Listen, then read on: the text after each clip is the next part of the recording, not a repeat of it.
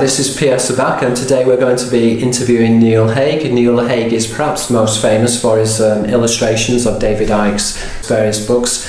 Um, I think we'll, we'll, we'll start first of all from your biographical details and quickly, I know this is on record, but we'll just go over your biographical details and we'll also cover some of your main points which are known in terms of your illustrations with David. So if you just want to tell me sort of the basics, where you graduated and what you did, and we'll take it from there. It's nice to see you again, Pierre.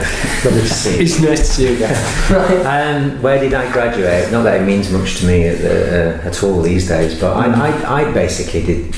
I did a degree in, in art and design, like most right. people do, mm. and then I went on to do a, a master's in book illustration, okay. which leads comfortably into all the other work that I yeah. did in terms of illustration yeah. work.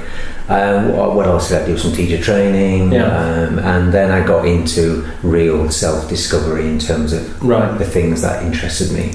Okay, so in terms of matter and paintings and, and, looking at other artists. And I'd, I'd like to just ask you in terms of which artists influenced you. So, we'll, shall we start with some conventional artists that people maybe have heard? Yeah, as, as, a student, I was into narrative illustration work, which was things like uh, Raymond Briggs. People will know okay. the Snowman and yeah. that kind of yeah. fungus, the Bogeyman. Yeah. Um, I was looking at other other artists, uh, you know, contemporary illustrators like. Uh, uh, there was James Marsh at the time, mm. I think. Arthur Rackham's work, you know, okay, all these classic Edward, yeah, uh, and then really fell fell upon mm. people like well, William Blake's been the biggest influence. Yeah, I was going to say that so. if, if I look at your artwork, uh, the strong influences that I think are obviously William Blake. I also see some David Hockney in there in terms of the oh, bright okay. colours and also Henry Moore as Fellow well. Yorkshireman, David Hockney. Yeah, he's, yeah he's, he's, not far from this neck of the No, no, and also Henry Moore as well. Oh yeah, of course, yeah. Yeah, yeah. Uh, with the um, gradations or the grids which uh, he used for his sculpture. So. Um, yeah, I mean the art world. I didn't. I, I wasn't really an artist. You know, I wasn't. I wasn't seeing mm. myself as an artist. It was always as an illustrator, right, and as a graphic designer. Yeah. Um, but I, I fell in love with the the idea of illustration, mm. the idea of illuminating yeah. text, yeah. illuminating stories. So this is no tradition, isn't it? With yeah. illuminating conceptual work becoming an image in itself, yeah. in its own right. You could have a narrative mm. in one image, yeah. or you could have a narrative that spans over th- several pages. But I was interested in narratives and stories. Yeah. Hence why I ended up illustrating books for other people. But not only that. Mm um, writing and illustrating graphic stories myself over the last what 15 yeah. years or so. So yeah, it's. You told me an interesting anecdote, and this was a number of years uh, years ago. But you said that you went, um, you were doing very conventional illustrations for The Economist and for a number of large magazines, and suddenly this work just suddenly dried up when um, you oh, started to work yeah. for David Icke. Well, um, yeah, it, well, it could have been coincidental. Right. Um, it, it could have just been, there could have a couple of things. It could have been coincidental. Yeah. It could have been the nature of the times that we were moving yeah. through, because that was in the 90s. Yeah. yeah. And that was in the, in the mid 90s, and that's when I started mm. to kind of connect with that kind of work I was doing for David. Right. And I think the illustration industry started to die its death a little bit at the same time. The transition of computers, wasn't yeah, it? This was the Macs coming in. Yeah. yeah. So it was kind of you know, it was it was it was a bit like that. Yeah, it's, well, it's year dot, isn't it? It's the same with what happened with the invention of the printing press, the Guggenheim printing yeah. press. Um, it changed so everything. It's changed everything. We're in the year dot, the beginning of. I think we're also. If I remember, we, we were kind of on the edge. Of, we were coming out of a recession. Yeah. Um, at the same time, there was all sorts of things happening, but on a metaphysical level, I was losing interest in illustration work, right. commercial illustration yeah. work. Yeah in the 90s yeah. in favour of getting more into the deeper, mm. you know, occult metaphysical right. concepts mm. that I was starting to uncover. Yeah and I was allowing things just to come through um, yeah. and, and, allowing things to be yeah, uh, you know, uh, as they were. Your uh, early illustrations are very astrotheological in terms of that you have illustrations of Sirius and there's a lot of emphasis towards um, symbolism and native symbolism. Um, you seem to be interested. You seem to be interested in a lot of different cultures, but particularly maybe native native Indian. Yeah, American Indian was one of the big ones yeah. at the time that I was interested in. I mean, I'm interested in everything now, but. There was a there was one particular well there's one particular story and one image in, in particular mm. I think back in 94 right. I did uh, I did a series I was I was still kind of on the edge of a postgraduate yeah. study and I entered what was then the images best mm. of British illustration competition right. and um, as everybody did back then you mm. know I don't know if it exists now and I entered a, a, an illustration called and it came out of nowhere called Here Comes the Moon. Right. right? And it was an image, if anybody, it's on the website, yeah. it's an image of what was like a devil like figure, an energy field. Yeah.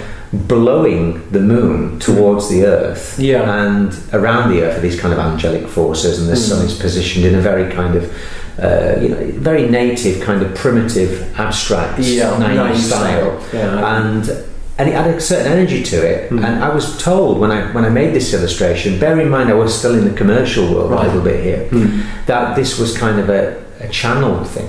Yeah. What does that mean? You know, but at the hmm. time, anyway, a channeled image. Right. And it wasn't until a year or so later mm. that it kind of started to make sense why I'd made the image. Right. Because it was the same image that I sent with a pack of images mm. through to what was then you know Dave, David's office yeah. for the for the early days, right? And and that was that that image was one of the images that connected us. So okay, and that was the catalyst which led to one of the catalysts, yeah. yeah the um, new work or the work which profoundly changed then from commercial illustration to more spiritual Gnostic illustration. Yeah, it was. I was going where I was meant to go with, right. with the imagery, I, I, and, yeah. and, that was that was the next part of the journey for me. Yeah, um, yeah. And so, so um, which books did you illustrate for David Icke? Because there's been a number, haven't there?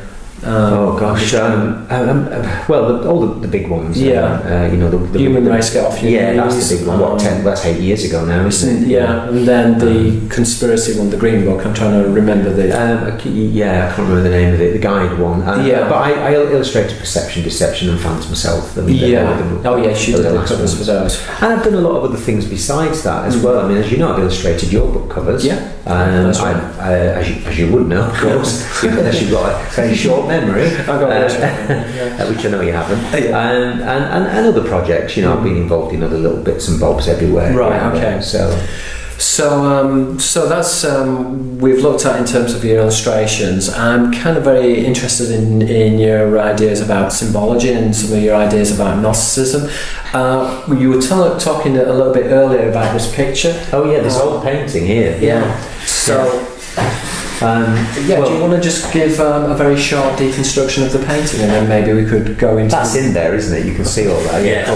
So, um, well, you see, was, as I was saying to you earlier, I think this was painted in the 90s, mm. and, and, you know, I'm reminiscing here a little bit because I, I, I, even stretch this canvas, you know, I don't do that very often these days. Mm. And it, it was, I, I went on a to keep the story shortish, but yeah. I, went, I went on a, a, a long walk mm. in France, mm. in the Languedoc-Roussillon region, mm. which was very, it's very famous for its Cathar right. history. Hmm. And the Cathars were a, um, a Christian, they were called a Christian sect, of course, yeah. because they were they, they had certain beliefs that were mirrored within mm. what we would understand as Christianity. However, I think the roots of their belief system comes from further afield from the Gnostics. From the Gnostics, mm. uh, as a general term. Yeah. And you could find Cathars in, in what is now Albania and, right. and uh, places like Croatia.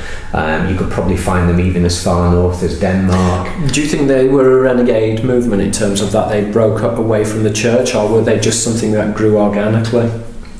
I think it was or, growing. I think it was growing organically. Or do you think it was seeded from the Gnostic traditions that there were teachers who were going out and seeding these teachings? I, I think I think it's organic, but I think there was some real hard. Let's use the word hardcore yeah. characters that right. were, were, were pushing a a, a Gnostic mm. idea, yeah. not in a malicious way, no. but they, they, were they were flourishing. Like they say, yeah. seeded is a good word. Yeah. They were growing yeah. in certain parts of what is now we would understand as mm. Palestine. What is what was Palestine was Palestine. Right. You know, the, in Egypt, right through into Spain, mm. and it brings us back to this because this is in the foothills of where Spain and France yeah. meet each other in the Pyrenees, right. where from around the 10th century mm there was the starting yeah. focus of a, a group of people that were not necessarily going to become mm. what the order of the day yeah. wanted them to become. And by the 11th century, yeah. Catharism or Cathar, it had its own distinctive flavour, didn't Albigensian, or uh-huh. which wine in French, um, they, they were a group of people mm. that were from all sorts of different backgrounds, yeah. from different kind of they didn't have incomes in those days, but let's say income brackets yeah. from poor to wealthy yeah. that that were for, that had fallen in love mm. with the Gnostic version of mm. what was then the predominant religion of Christianity, from yeah. Byzantine right down to you know the the Abrahamic yeah. faiths. Was so, was there a distinct teaching with the um, uh, with the Cathars?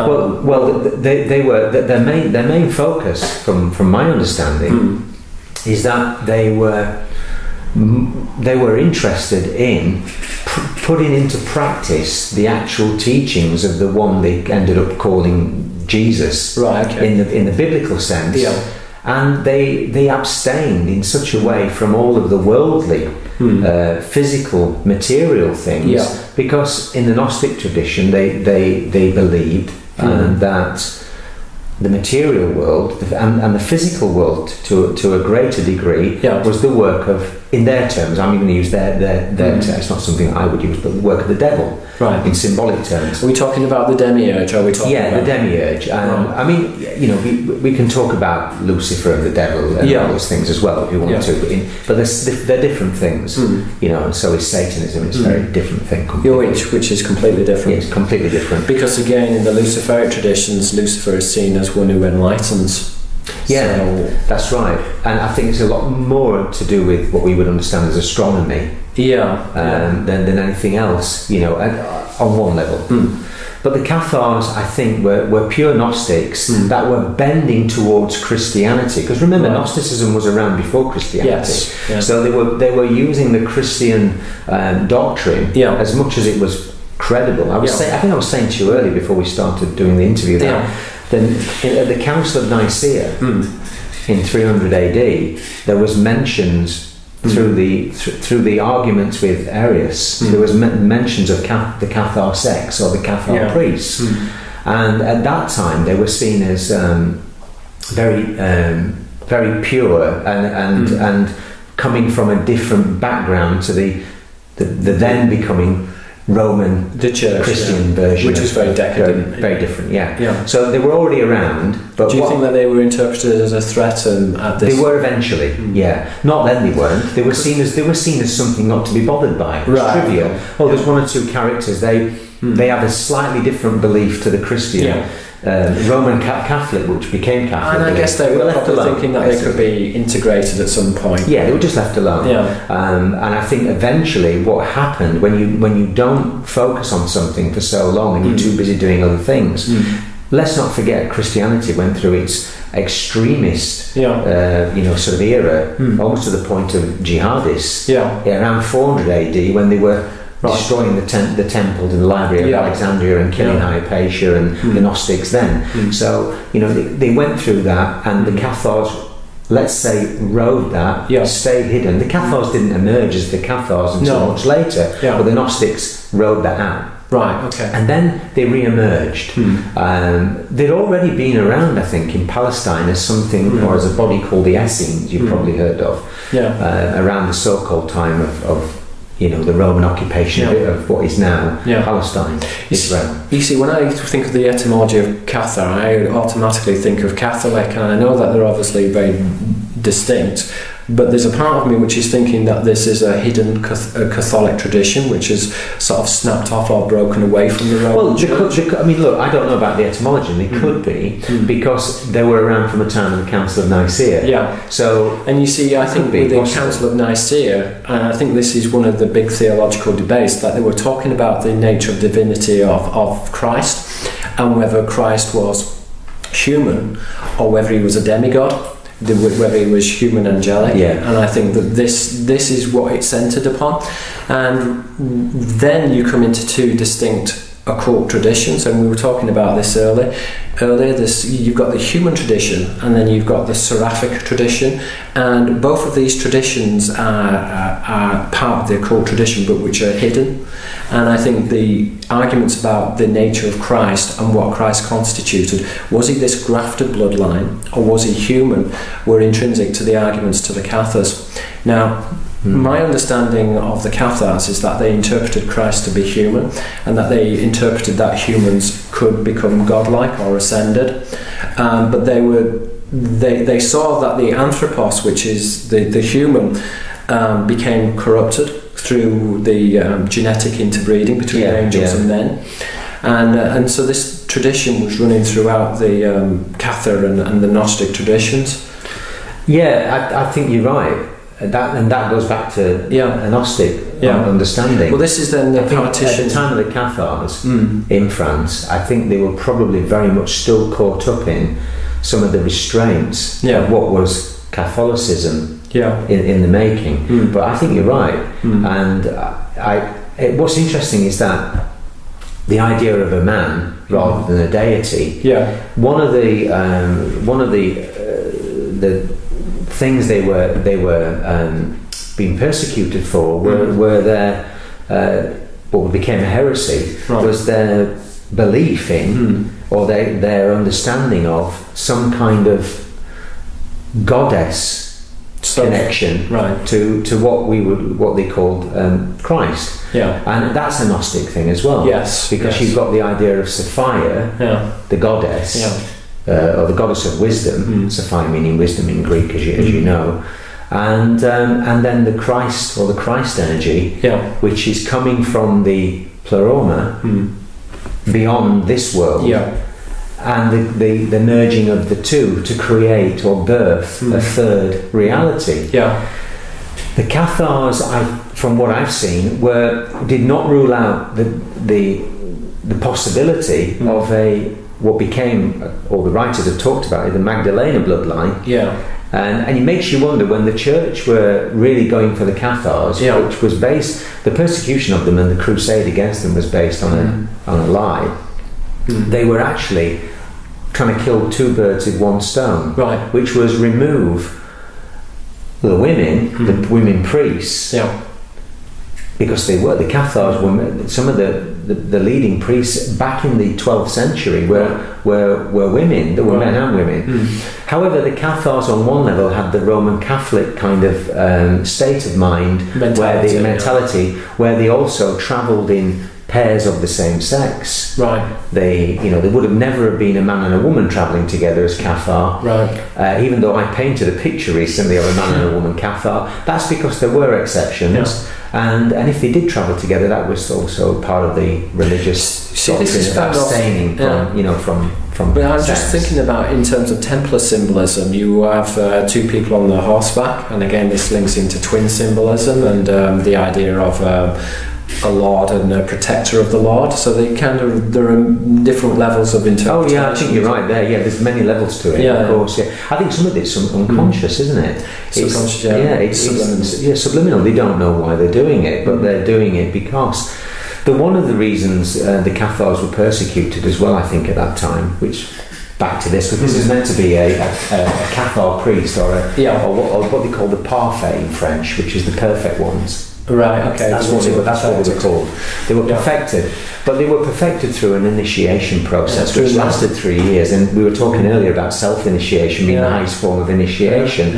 And the reason why I painted this is because I went on this this trek mm. with my partner at the time. Mm. Um, and it was a real initiation process. Funny if there was two of mm. us, you know. Um, and we walked the ancient Cathar mm. roads, which stretch all over that region, but they're called the Sentinel, the, the, the roads of the Cathar, right. which go from the, the, Mediterranean coast near Perpignan, mm. south of Narbonne, mm. from the Chateau Quéribus all the way through, right, right through the, the, the woods and the forest, which mm. follow tracks through the gorge of Galamus, mm. uh, Bugarach, right. uh, Julia de Bec, you know, all these places as you move down, yeah. and ending up in places like Montségur and Foix. Right. Uh, you know, it was it was about eighty 80 miles right. worth of, of, of And did you manage to complete the trek? Apart from the odd, apart from getting on a bus at one point, absolutely shattered towards the end, yeah. uh, to take a few miles out, yeah. and, and being attacked by a horsefly as we climbed the right. the the the mm. uh, mountain or the rock. It's called mm. Pog actually. Mm. Um, there was a lot of there were the journey led, led to a lot of insight and a lot yeah. of reflection, mm. self reflection, mm. but also seeing things in nature that would make you realize yeah. the, the nonsense of, of the material world yeah. and, how, and how, we, how we are living and what we mm. do. I'll give you a good example actually with the painting, based on the painting, was by the time we'd climbed Mont- to, towards Montségur back then and we've been attacked by horsefly. They're mm. buggers they are, you know, and they love right. human sweat. Mm. And it was above 90 degrees, right. even though you're at an altitude which was fairly high. Mm. Um, and as we descended down the other side to only look up at the, the village of Montségur with hmm. that in the background, there was, uh, I, I, mean, I'd been fighting off horsefly yeah. for about, I would say, nearly six or seven miles of right. doing, doing this, you know. And um, as we descended, yeah I noticed there was a guy laying in the long grass. Right. You know, with a with a piece of grass out of his mouth like that. And I had a close look, and he only had shorts on. Right. And he was like this. and there was not a thing around him. Yeah. There was no flies or anything. That's Obviously, right. because he wasn't sweating, because they yeah. love all that, you know. Yeah. But it just made me realise that the, the, the, the, hustle and bustle of everyday existence yeah you know the, the the feelings of being entrapped and yeah. having to be go from A to B yeah. you know whether it's through jobs or relationships yeah. without getting into it all but you know what I mean yeah it's, it's the um, timetable isn't it being up at the same time doing the same thing day part of that out. it's part of that understanding that when you when you you can cage somebody mm. even within but they feel that they're in, they're on some kind of path to freedom. They can still be in a cage. Yeah. The salmon hmm. thinks it's on its way home, but still but still finds itself trapped in a cage and being farmed. Yeah. And also attracts parasites. Hmm. Funnily enough, there was parasites attacking me in terms right. of symbolically the horsefly, but the guy in the grass was at peace, yeah. enjoying nothing but just being in that moment yeah. of stillness and nothing was there bothering. were no parasites around. There was nothing bothering and it just made me realise that this the journey itself is, yeah. is it is hard. Yeah. You know, life is hard in that respect. But there are moments when we get that peace, yeah. and I found it on that journey. Mm-hmm. And this painting, this this Montségur painting, and the, the, the, the, priest, and it's it's called White Castle Initiation, right. Birth through Fire.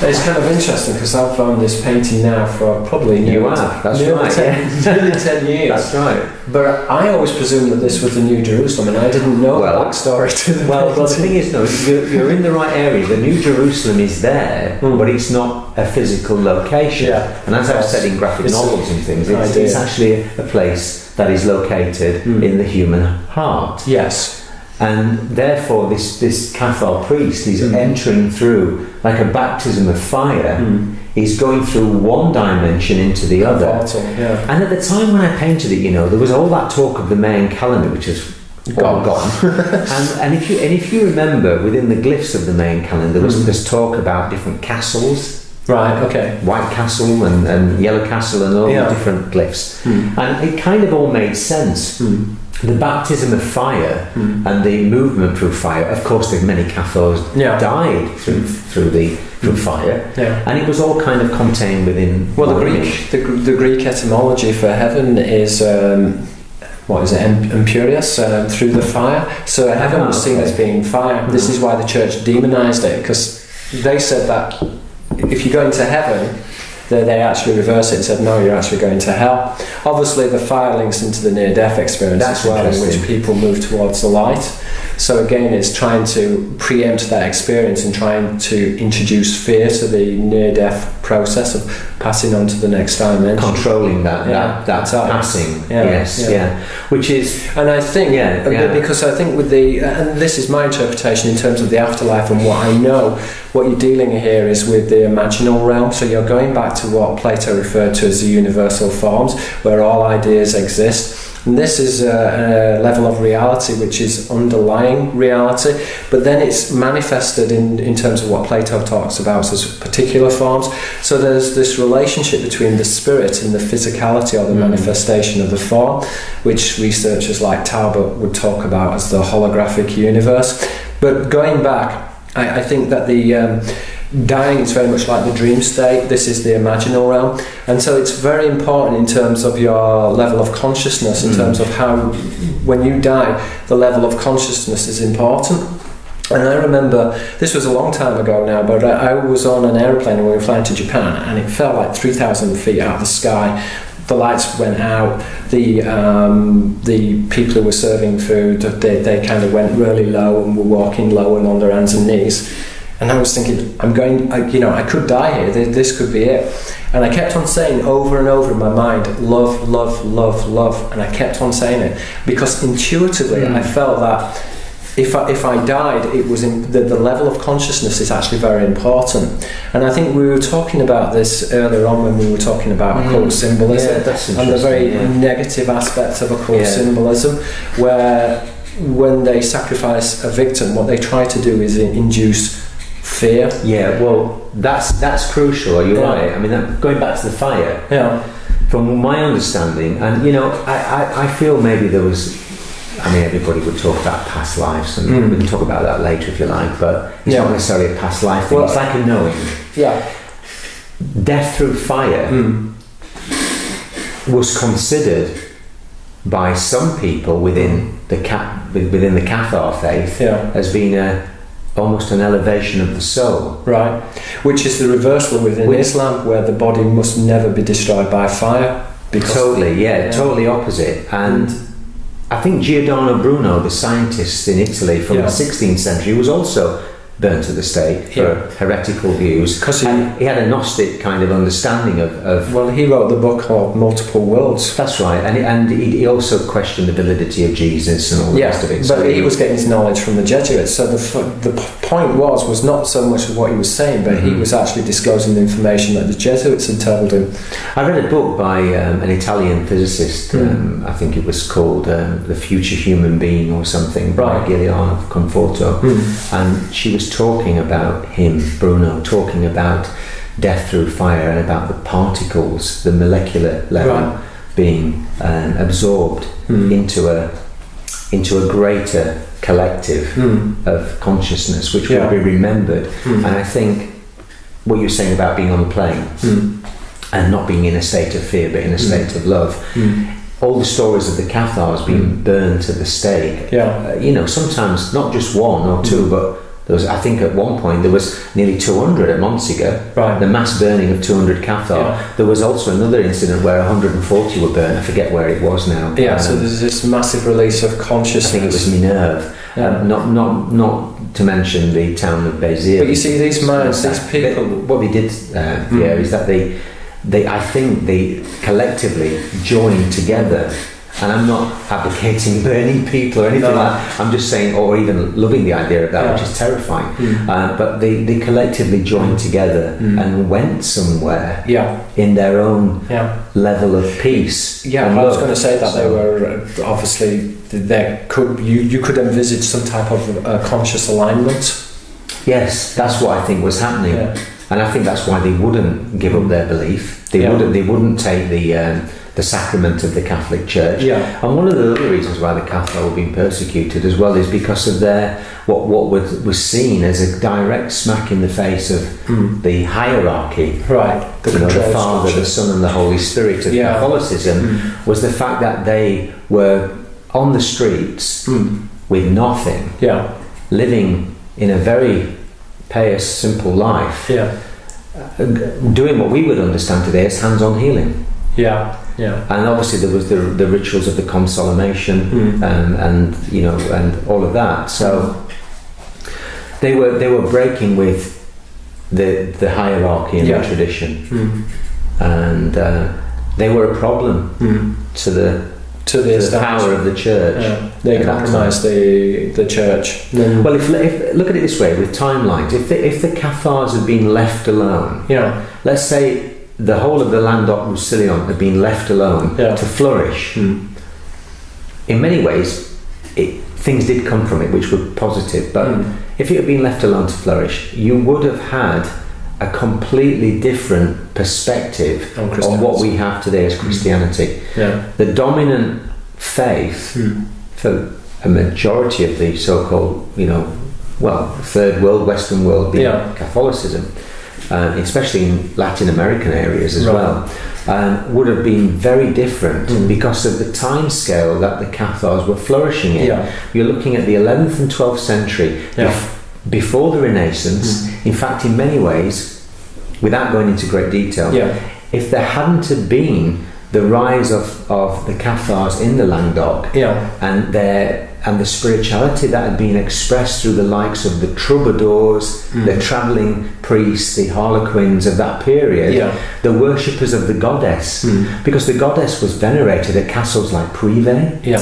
which is an amazing place if you ever get a chance to go. I mean, it's it's got a very different energy to some of the other fortresses because yeah. it wasn't a fortress. it was a place where the art and the goddess were celebrated right, okay. right up until the point where obviously mm. it was no longer time to do that yeah. because there was an impending danger that yeah. was coming from somewhere else. Mm. And so left unchecked, we mm. would have, we would have had a very different understanding of what, what became Christianity. Um, and underpinning all of this, by the way all along throughout this has been what we understand as paganism. Right. So which was always there anyway. Yeah, yeah. And and so the Gnostics mm. and the pagans but they were got, very different in many ways. But they got grouped together and but they demonized together, yeah. Demonized together, yeah. yeah. So so yeah, um, that's actually really interesting. Um, so we well, yeah, I mean that. Oh yeah, the other side of it is a dog. I, I, on the trip, I, I met a dog. right. I didn't own a dog. No. I befriend. Well, you know, it's more than befriending. Actually, I, I, if I remember, mm. um, I think we'd camped at Puivert. Yeah. And I remember we moved to another place. And I remember one day sitting at a riverbank. Yeah. kind of well, that's connected to, but mm. and I remember this dog coming over, and um, God, I really connected with this dog. Right. It, I felt like I knew the soul of this animal. right. Okay. And. Uh, well, you know, I want, I, we could have taken it with us right. because it had no owner. I mean, right. a French guy the, uh, from the campsite said the farmer that owned the dog had died, and da, mm. da, da, mm. and the dog could have come with us. But mm. obviously, where we were going, it would have been my eventual trip back to the UK. wouldn't have been very possible. But no. but this dog, I felt like yeah, I knew I'd met a friend, an yeah. old friend. You yeah. know, so, so uh, which sounds bizarre, but no, well, this, but, but again, this is talking about soul, aren't you? Yeah, exactly. Because the church again doesn't acknowledge that animals have souls. Well, they didn't acknowledge that women had souls up to a certain point. you know, that's true as well. Yeah. I mean, the church is it's as ludicrous as um, yeah. Borat. You know, yeah. the uh, the what's his name, Sacha Cohen's character. Yeah. It's hilarious, isn't it? Really, you know, the levels of lack of intelligence mm. that people fall into. Yeah. To believe any old rubbish yeah. for centuries and centuries. You know, it's um, it's time people grow up, isn't it? Really, well, I think people really are growing up, and I do think that there is certainly more. It's more eclectic in terms of what people actually believe, and in terms of what they're actually moving towards. You mentioned um, about the nature of the soul, and I, am very interested in, in the nature of the soul, and I can tell you a little bit about my understanding about the soul, and then we could maybe discuss this and then maybe move into symbolism. I view the soul as, I, I, describe it as the soul pattern. And what's interesting about the soul pattern is that it's, it, it's possible to be incarnated into the past or in, into the future. And there are different alternative realities of these pasts or the future. Mm. And I think we're, in terms of meditation, meditation is designed to get you to a level of consciousness which is very similar to the imaginal state. And the imaginal state is the spirit realm where anything is possible. That's where everything returns back to, and then it is uh, manifested again physically. So I, I see in terms of the soul pattern that can be manifested both in the past and in the future. And I think knowledge of the soul pattern and knowledge of controlling the soul it's possible to control the, the timeline of the soul and how and where the soul manifests, and it's possible to manifest in a better version of a mm. different reality, whether that's past or future. So that's how I actually look at the soul pattern. Um, yeah. And I don't know really how that fits in with um, Gnostic belief system. I, I probably would imagine there is some crossover there. Yeah, I think there is. I mean, it all goes back to the idea that the the earth was a creation mm. of a uh, a, a, level of consciousness. Yeah. The original Earth. This yeah. Well, you see, there are two. The the, there are two creations. I think when you look at the esoteric tradition, you have the first and the second creation, and we need to be really um, clear about what that actually entails. So you've got the first creation, which is the creation of the universe and of the planets. Um, and the creation of what's known as the anthropos.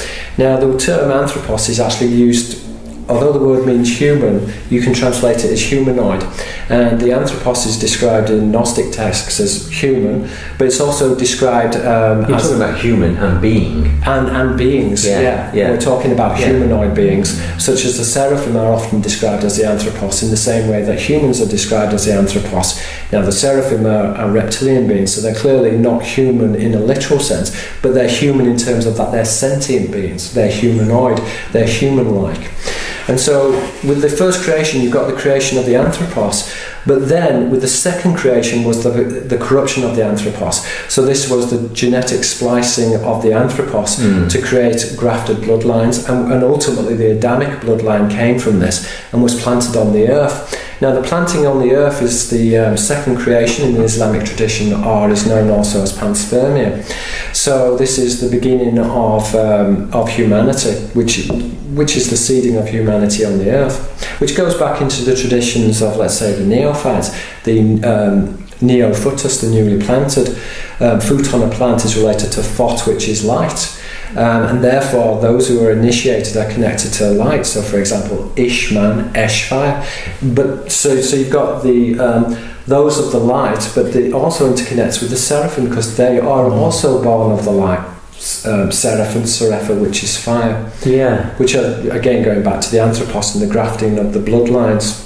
Yeah. So Sorry, I was going on a bit of a, a preamble there, but the, yeah, you, you, didn't lose me, but, yeah, but I, have understood it. But I'm just so, but um, I'm just trying to tie it back into yeah. what you were saying about the um, Gnostics. So, if, if we go back into the ideas of the Gnostics, I'm kind of interested in what the Gnostics thought about the relationship between angels and men. Could you do you have opinions about that, or could you elaborate on that? Well, I mean, from my understanding of it, the like I said earlier, the, the, the Earth was was not a a physical place. Yeah, it is a physical place, it of course, yeah. but it was also a spiritual place, right. and the the creation of of um, what we understand as uh, as what the New Age and and uh, you know science mm. is called Gaia.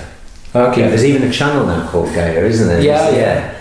Um, Gaia was, was the, the uh, Mother Nature, yeah. um, was the spirit mm. of something that was created mm. from the dreaming yeah. of a. Let's they use the word eon in in oh, okay. the in the um, in the text mm. in the in the in the Gospels that were apparently lost yeah. and then found. Yeah. You know, like the Dead Sea Scrolls in the Gnostic Gospels, they use the word eon, and there's been plenty of people write about this. I mean, yeah. know, John John is it John Lamb Lash's work is yeah, it's very really well good. known now. Um, so it's not this is not new stuff. You know, I'm not proclaiming to know no. new stuff here. Um, I mean, basically, Sophia one of the um, aeons mm. or eons yeah. um, gave birth to yeah.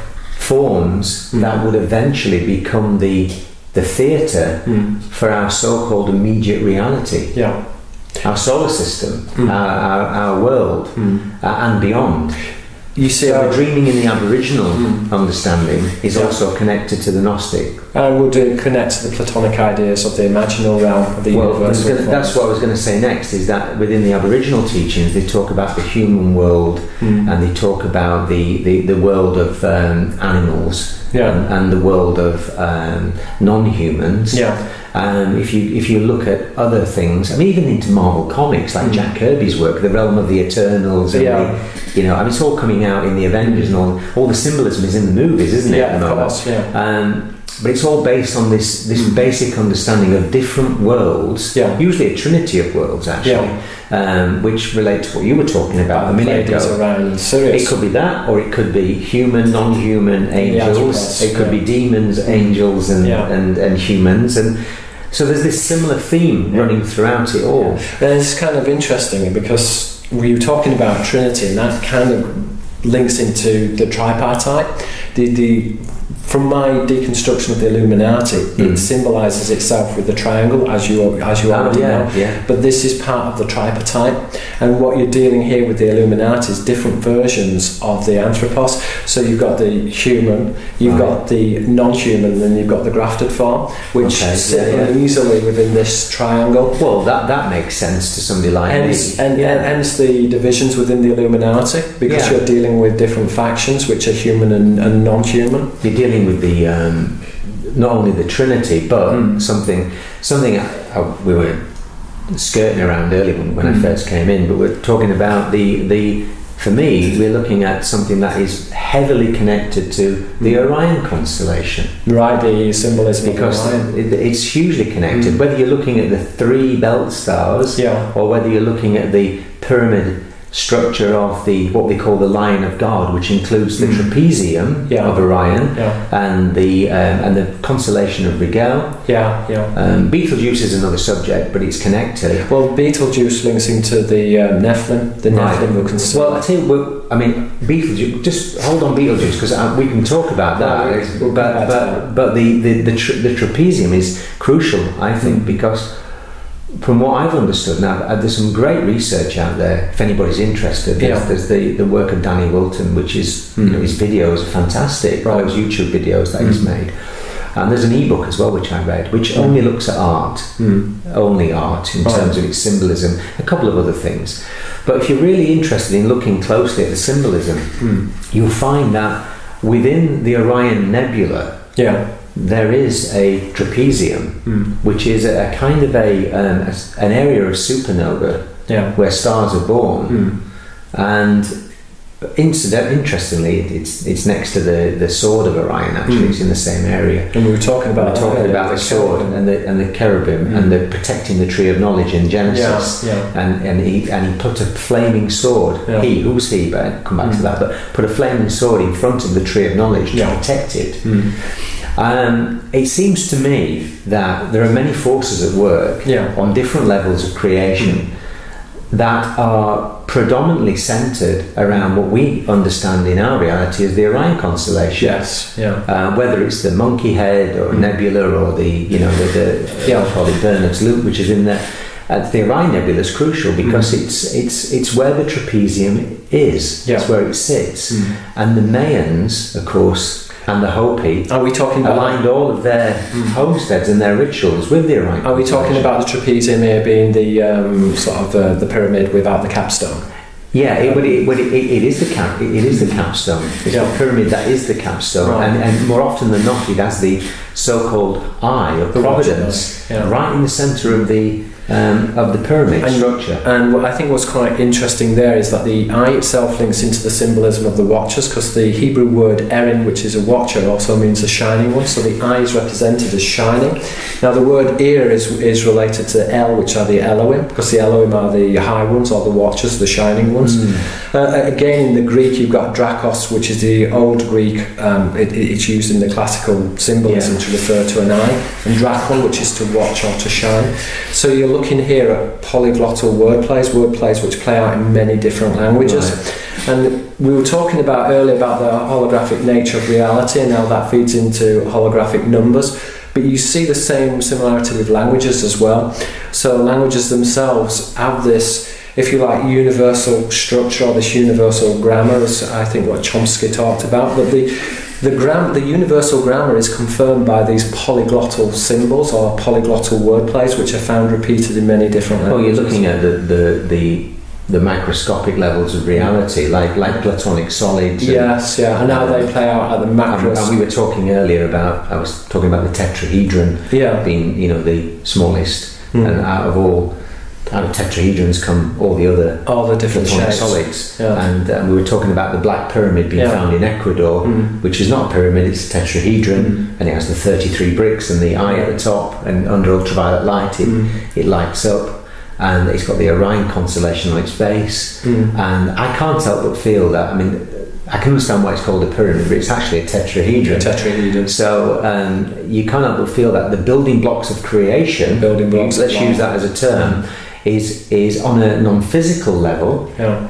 whether it's through coding genetics eventually mm. in the Garden of Eden, mm. the Garden of Eden in the stars. Yeah. I think I read somewhere, I mentioned it in the book, about the word padre or padre coming from the idea of um, it relating to a garden in the stars. Right. There was another definition for a nursery. For a nursery. Mm. And, and what's interesting is that some of the African shamans, mm. Not least um, the Zulu, were talking about the caves of creation yeah. where women and men were seeded. Mm. And when you look closely at the Orion Nebula, there seems to be what looks like a pink cave and a blue cave, right. which make up that area yeah. around the trapezium, yeah. which could well be the source of genetics yeah, because and, and, life as we know it. Could be. We're not saying it is, yeah. but there's enough evidence to suggest that there's some kind of mm. um, construct, mm. non-physical construct, yeah. creating the physical world of duality mm. that is projected from what we would understand the tree of knowledge, the tree of life, because I and think the garden in the stars. I think like when you talk about Orion, there are two big um, stars which are associated in symbolism, in Masonic symbolism. That would be Rigel and then Betelgeuse. Ah, well, you know what's interesting because I know you you've talked about Japan in the past mm. and things like that in your books. Mm. What I found interesting was um, when I started looking at this chapter for this, are you this thinking new about, book. Are you looking at the Mount uh, Mount Fuji? I'm, I'm, I'm thinking. No, I'm thinking about the samurai. Right. Because the samurai I read somewhere, and I've got it in the book. I'll, I'll, I'll read it to you because I can't remember the actual. Well, you know plans. what? The, you know what the, the you know what the word ninja means? No, it's a wordplay. It, it, it means uh, brothers of the serpent. Ah, well, when you break down the Chinese characters, it's, it's an actual wordplay. How interesting. So, because I was looking at this kind of eternal war which, that was going on Which is on. the Pythagorean school. I mean, I mean, the ninjas would be affiliated to the Pythagorean school if you want to bring it back into classics. Ah, here we are. The, I don't know how you pronounce it. Is it the Tiari? The he, Is it the Heike? Heike clan? Yeah, Heike. clan. Heike clan adopted Betelgeuse as its symbol, right. while the opposite clan adopted the Minamoto adopted um, Rigel as its symbol. Yeah, and human, no, no, Betelgeuse is, the, is where the Nephilim originate from, and Rigel is where the Adamic man was created. So why would the samurai? I mean, of course, they adopted other things, well, but they adopted that in their mons. You know, the heralds. Well, there are three levels to the Illuminati, so there are two parts of the tripartite. All that. Well, so you've got so a third clan which is not mentioned. But so you would have the human. I couldn't find them. Yeah, but maybe they're the ninja, the brother, the brothers of the serpent. Well, there you go. Because I mean, look, I mean, what's interesting is that. You know, I'm getting too carried away with it. But I'm doing the research and this obsession with horns. Mm.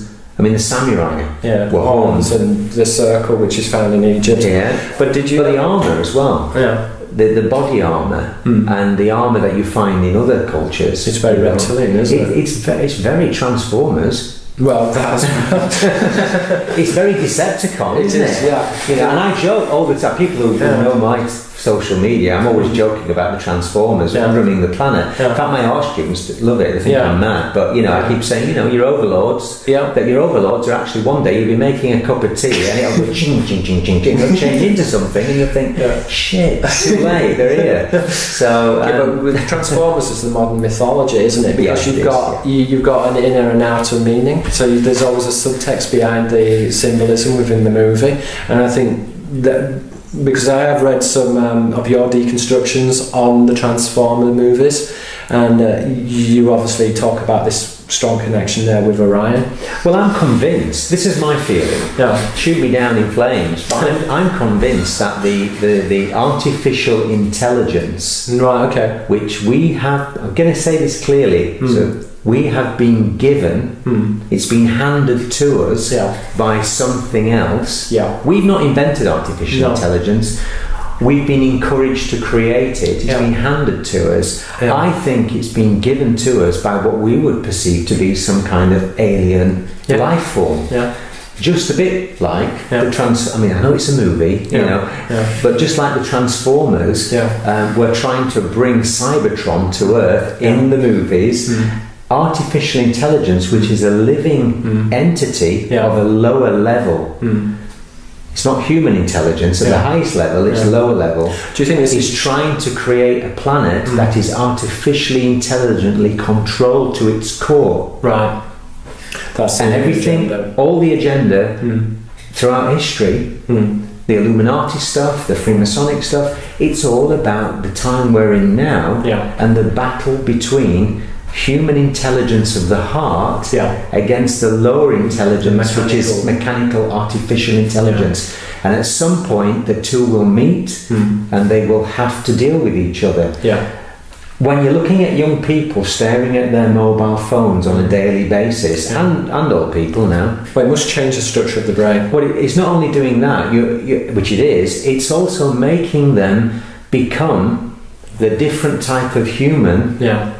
That they were programmed do, do, I to mean, be or not to be. You know what I'm saying? So I mean, in exopolitics, they talk about the Homo noeticus, which is the new human. Do you think that this feeds into these type of ideas? Yeah, it does feed into it, but but you, the, pre- predominantly you've got to come back to what is human and what yeah. is being, yeah. and the difference between organic life yeah. and and artificial intelligent life forms, which are as are as alive mm. as a plant or, or a bird. sentient. You see, um, Turing also talked about, um, he, well, he talked about the oracle, and I think the oracle is very interesting because that implies that something is actually channeled.